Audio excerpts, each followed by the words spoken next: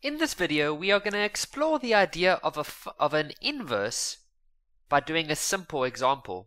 So what I want us to do first is the following. We're going to draw the line y equals to 3x plus 6.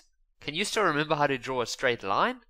Well, you need two things. You need your x-intercept and your y-intercept. So to find the x-intercept, you make y 0.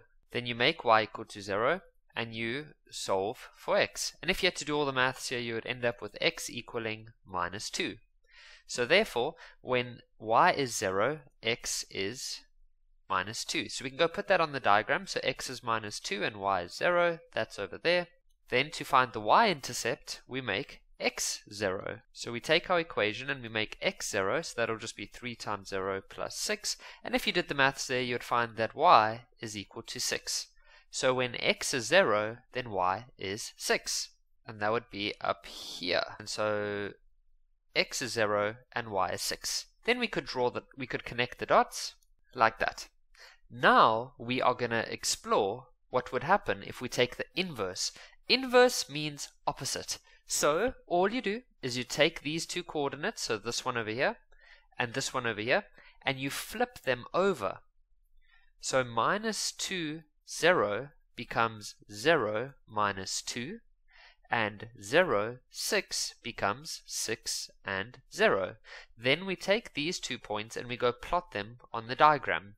So 0 and minus 2 would be here, and then 6 and 0 would be over here. And then we'll connect those two. And so there we have it.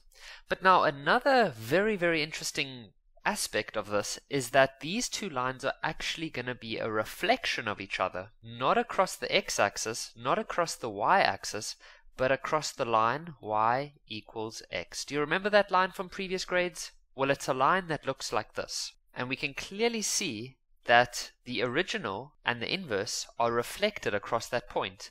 For example, this point over here has now gone over there, and this point over here has now gone over here. So all that inverses are are actually reflections across the line y equals 2x. And then the last thing I'd like us to quickly look at in this video is how to determine the equation of an inverse. Very easy. All that you do is a two-step process. Step one is switch the x and y around. Okay, so switch x and y.